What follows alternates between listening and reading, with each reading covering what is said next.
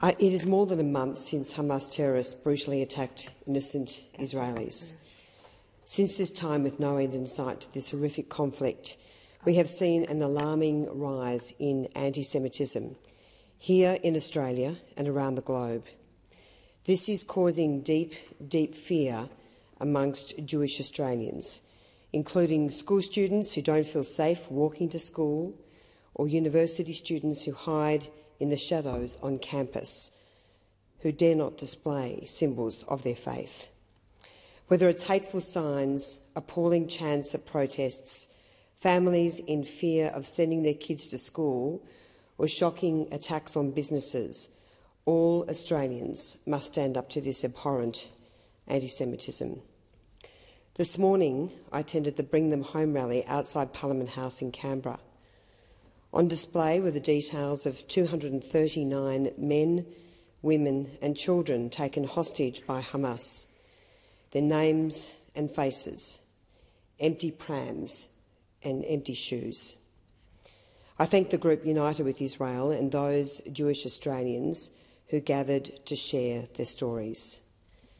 They included a group of Jewish university students from ANU here in Canberra who spoke about how they feel unsupported and frightened. I raised particularly concerns about Jewish students because they are the ones being targeted, particularly at universities. One student told me he had been verbally abused and even spat on in recent weeks. He said he felt that university administrators and the student union were not taking proactive measures to protect those of Jewish faith. Another student told me she would rather stay at home than head to classes. Um, this is happening in our country and it is devastating. Every Australian, inclu including those of Jewish faith, has the right to feel safe in their own country. Uh, despite the assurances I have received from the Minister for Education and Universities Australia, not enough is being done to guarantee the safety of Jewish students at Australian universities.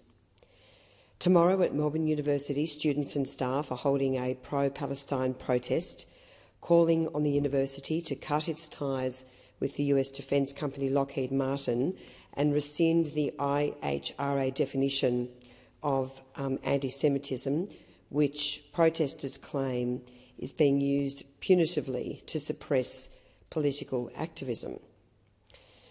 So, what measures the, is the university delivering to keep student, Jewish students safe tomorrow? Why would any Jewish student risk attending a lecture at Melbourne Uni? Next week, a group called Free Palestine Melbourne is encouraging a Melbourne wide school walkout. The Albanese government must act to ensure that no school participates in next week's proposed school strike for Palestine. Students must not be used by political pawn, as political pawns by any group. Our kids need to be in school.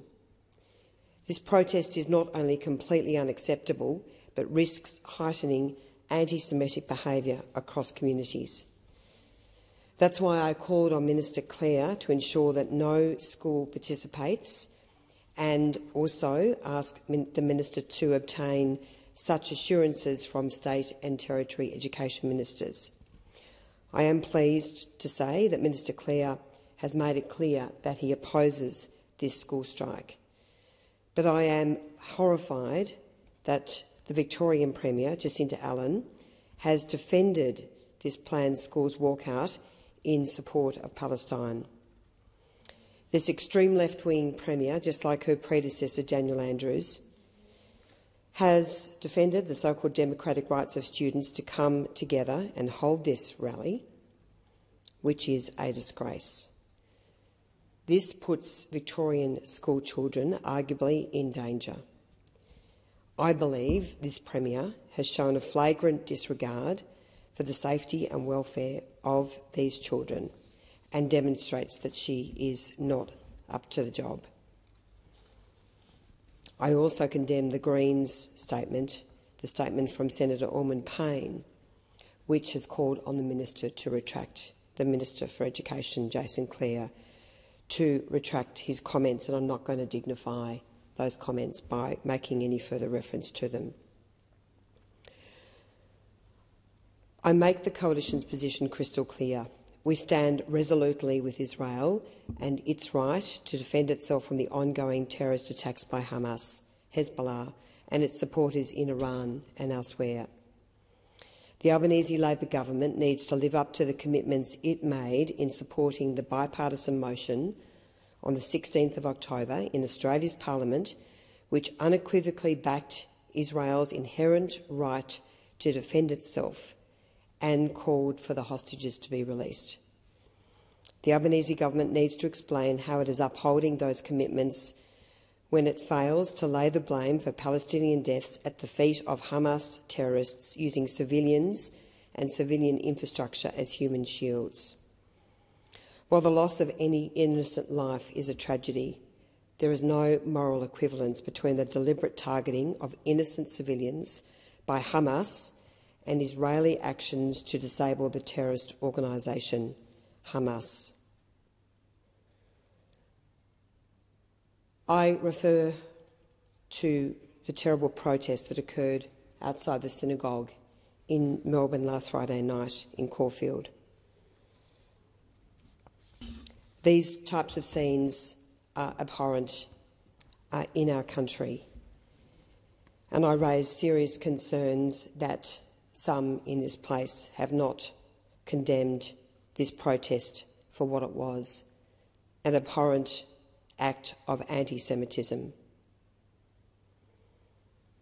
As I say, the safety of all Australians is paramount.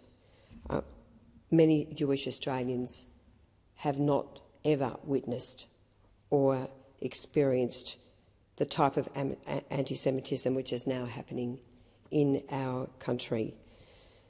The Albanese government should not mince its words. It should, not it should condemn anti Semitism when it occurs without qualification or drawing any equivalency uh, by suggesting, as occurred with the Caulfield protest, uh, that there should be no Islamophobia when clearly uh, there was no Islamophobia on display outside the synagogue in Caulfield. And I say to Victorian school students, please don't allow yourselves to be used as pawns by those who seek to drag you into this terrible, terrible protest that's planned for next week. And I say to the Victorian Premier, please retract the comments that you have made to safeguard the security and safety of all school students in Melbourne. Thank you.